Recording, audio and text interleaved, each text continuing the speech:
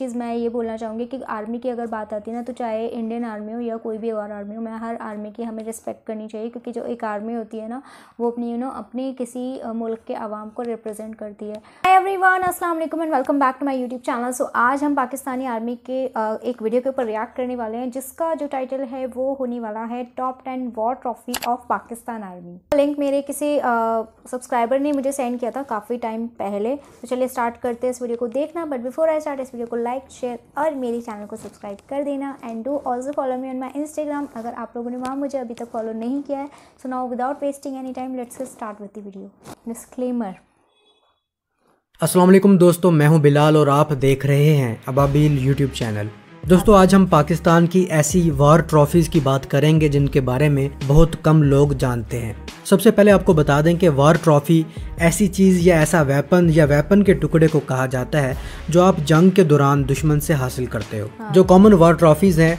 उनमें flags weapons vehicles या कोई आर्ट वगैरह शामिल है। अगर पाकिस्तान की बात की जाए तो पाकिस्तान के पास सबसे ज़्यादा इंडिया से हासिल की गई वार ट्रॉफीज़ हैं। तो बिना टाइम ज़ाया किए वीडियो स्टार्ट करते हैं।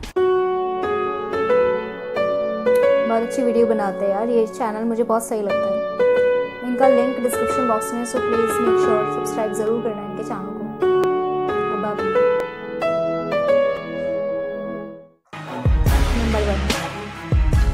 गैस ये जो आप अपनी स्क्रीन पर हेलीकॉप्टर देख रहे हैं, ये हेलीकॉप्टर गिलगित में डिस्प्ले किया गया है। जो कि इंडियन आर्मी का हेलीकॉप्टर है जो कि चीटक हेलीकॉप्टर के नाम से मशहूर है। इस हेली का असल नाम एल्यूट थ्री है जो कि इंडिया ने फ्रांस से खरीदे थे। ज़्यादा दूर नहीं पाक आर्मी ने इस हेली को 2011 में कैप्चर किया था। अगर ये कहा जाए कि गिलगित की आवाम ने इस हेली को कैप्चर किया था तो गलत ना होगा। हुआ यह था कि यह हेली जासूसी की गर्ज से गिलगित में लैंड हुआ था जिसे गिलगित की आवाम ने कैप्चर कर लिया। और पायलट और इस हेली के क्रू की सही पिटाई भी की थी।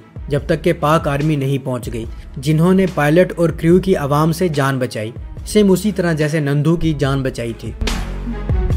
यार इस बारे में मुझे नहीं पता दोस्तों ये जो आपको एयरफोर्स की यूनिफॉर्म नज़र आ रही है ये एक इसराइली पायलट लुट्स की यूनिफॉर्म है जो कि किसी इसराइली म्यूज़ियम में नहीं बल्कि पाकिस्तान एयरफोर्स म्यूज़ियम में मौजूद है। ये यूनिफॉर्म पाकिस्तान कैसे आई?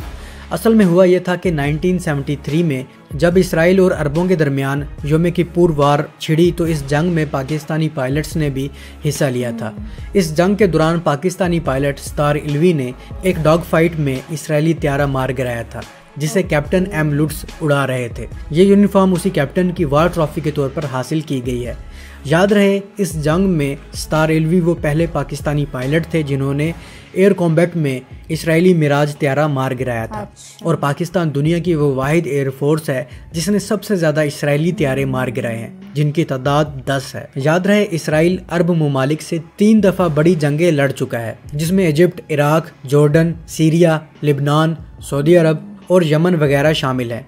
लेकिन इन सब अरब ममालिक में से किसी भी मुल्क की एयरफोर्स पाकिस्तानी एयरफोर्स से ज़्यादा। इसराइल के त्यारे तो नहीं गिरा पाई। और इस जंग में एक भी ऐसा त्यारा शॉट डाउन नहीं हुआ जिसमें पाकिस्तानी पायलट बैठा हो। हम्म, हम्म, हम्म, दोस्तों वैसे तो जंग में बहुत सी ऐसी फौजी गाड़ियाँ भी हाथ लगती हैं जिन्हें वार ट्रॉफी के तौर पर इस्तेमाल किया जा सकता है। लेकिन अगर ये गाड़ी किसी जर्नैल की हो तो क्या ही बात है। आपके सामने ये चमचमाती jeep Indian major general Niranjan Prasad की है जो कि फिफ्टीन इंडियन इन्फेंट्री डिव के जीओसी थे। 8 सितंबर 1965 को ये साहब पाकिस्तानी फोर्सेस के अटैक के नतीजे में ये जीप खेत में छोड़कर भाग गए थे। इसके साथ कुछ इम्पोर्टेंट फाइल्स भी इस जीप में छोड़ गए थे। ये जीप वहागा सेक्टर पर बीआरबी कनाल के उस पार पाकिस्तान की 18 बलोच रेजिमेंट ने कैप्चर की। इस वक्त ये जीप आर्मी म्यूज़ियम रावलपिंडी में वार ट्रॉफी के तौर पर डिस्प्ले की गई है। दोस्तों आपके सामने कैनबरा बॉम्बर त्यारे की टेल है। 1965 की जंग में ये बॉम्बर त्यारा पाकिस्तान तबाही मचाने आया था लेकिन वापस नहीं जा सका और F one zero four star fighter jet के मिज़ाइल का निशाना बन गया। 1969 में इसकी ये टेल साहिवाल में डिस्प्ले के तौर पर रखी गई है।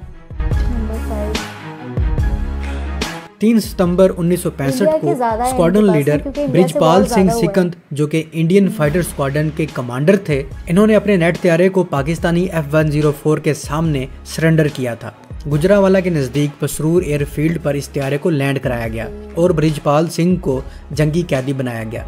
एफ़ वन ज़ीरो फोर त्यारे को लेफ्टिनेंट हकीमुल्ला उड़ा रहे थे जो कि दो दहाइयों बाद पाकिस्तान के एयर चीफ भी बने। दूसरी तरफ़ सरेंडर करने वाले ब्रिजपाल सिंह भी बाद में इंडियन एयरफोर्स के एयर मार्शल बने। दोस्तों डेसल्ट ओरेगन फ्रांस का बनाया हुआ फाइटर बॉम्बर एयरक्राफ्ट है जिसे सेकेंड वर्ल्ड वार में भी इस्तेमाल किया गया। इसके अलावा इसराइल फ्रांस और इंडिया भी इसे इस्तेमाल करता रहा है। इस त्यारे को सिक्स डे वार में भी और स्विस क्राइसिस में भी इस्तेमाल किया गया है। इंडिया ने 1965 की जंग से कुछ साल पहले ही ये फ्रांस से खरीदे थे। इंडिया ने इन त्यारों का निक नेम तूफानी रखा था क्योंकि ये तूफ़ान की तरह जाते थे।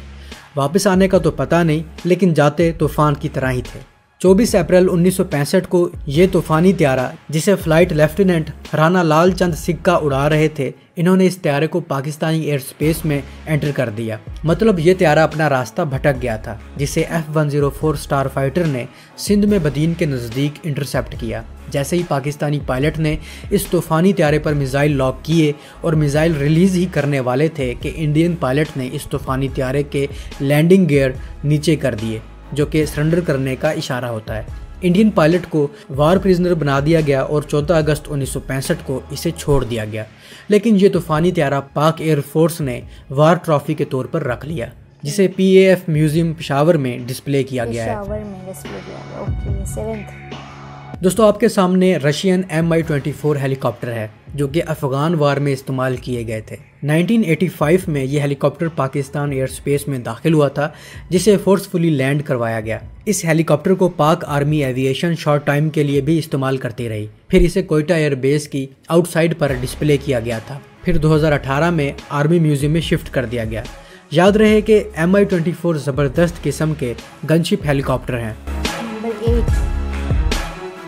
दोस्तों इसी तरह सोवियत अफगान वार के दौरान 1986 में अफगान पायलट्स मिग 21 त्यारा और एस यू ट्वेंटी त्यारा ले आकर पाकिस्तानी कोहाट एयरबेस पर लैंड हो गए थे।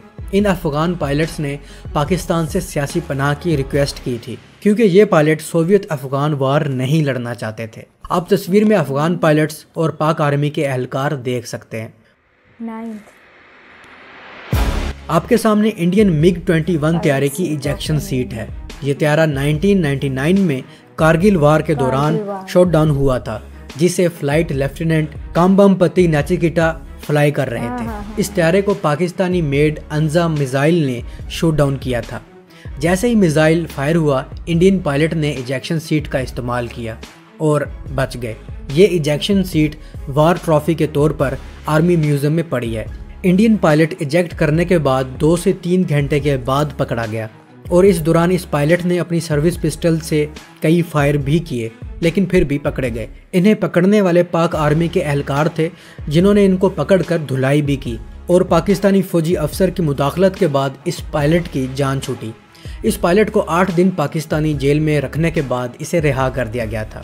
अभिनंदन की तरह इसने भी रिहा होने के बाद पाकिस्तानी अफसरों का शुक्रिया अदा किया और कहा कि वो बहुत मेचोर है और साथ साथ अपनी धुलाई को याद करते हुए इस पायलट ने यह भी कहा कि ये मेरा बहुत बुरा तजर्बा था। इससे बेहतर था कि मैं त्यारे के साथ ही मर जाता। दोस्तों, आपके सामने एक इंडियन सेंचुरियन टैंक है। सेंचुरियन टैंक यूके का बनाया हुआ टैंक है जो कि उस वक्त सबसे मॉडर्न टैंक माना जाता था। इस तरह के कई टैंक उन्नीस सौ पैंसठ में पाकिस्तान आए थे। काफ़ी तबाह भी हो गए और कुछ कैप्चर कर लिए गए जो कि आज वार ट्रॉफी के तौर पर डिस्प्लेड है। दोस्तों इस तरह की बहुत सी वार ट्रॉफीज़ हैं जैसा कि लेटेस्ट आपके सामने अभिनंदन का हेलमेट और यूनिफॉर्म है। तो अब तक के लिए इतना ही। उम्मीद है आपको ये वीडियो पसंद आई होगी। अगर आपको ये वीडियो पसंद आई है तो अपने दोस्तों के साथ ज़रूर शेयर कीजिएगा और कमेंट सेक्शन में अपनी राय का इजहार भी ज़रूर कीजिएगा। मैं मिलता हूँ एक नई okay guys so this was the video video was outstanding बहुत अच्छा वीडियो था। बहुत अच्छी वीडियोस बनाते। हैं ये मैंने आपको स्टार्टिंग में बोला था इनके चैनल को प्लीज़ सब्सक्राइब करो। और सपोर्ट करो इनको भी, क्योंकि उनकी वीडियोस हम लोग बना पाते हैं तो आप लोग रिएक्शन देख पाते हो ना तो इसलिए जो ओरिजिनल वीडियो होता है, वो ज़रूर जाकर देखा करो विज़िट ज़रूर किया करो सब्सक्राइब किया करो। और जो इन्होंने बताया ना आ, अच्छा बताया काफ़ी सारी चीज़ें थी। लाइक जैसे इन्होंने बताया ना कि जैसे वहाँ पर जो वॉर ट्रॉफी है सबसे ज़्यादा इंडिया की मुझे दिखी। ऑफ़ कोर्स यार इंडिया की दिखेंगी ना क्योंकि सबसे ज़्यादा वॉर इंडिया वर्सेस पाक में हुए इंडिया पाकिस्तान में सबसे ज़्यादा वॉर्स हुए तो इसलिए उनके पास जो वॉर ट्रॉफीज़ है वो सबसे ज़्यादा इंडिया की एंड सेम यही चीज़ यहाँ पर भी है इंडिया में भी। कि जो हमारी इंडियन आर्मी के पास जो वॉर ट्रॉफी है, वो सबसे ज़्यादा पाकिस्तान की है। क्योंकि ऑफ़ कोर्स अब वही चीज़ मैंने बोली जैसे वॉर सबसे ज़्यादा इंडिया पाकिस्तान के हैं तो यहाँ की आर्मी के पास भी सबसे ज़्यादा जो वॉर ट्रॉफी है, वो पाकिस्तान से ही है। पाकिस्तान के पास जो है, वो इंडिया की साइड की ज़्यादा है। तो सबसे इंटरेस्टिंग मुझे लगा ना, वो इसराइली वाला जो पायलट उसकी जो यूनिफॉर्म इन्होंने रखी है मतलब वो nineteen eighty five I think eighty five में जो हुआ था इसराइल और अरब में जो हुई थी, उस टाइम की जो ड्रेस है वो अब तक रखी हुई है।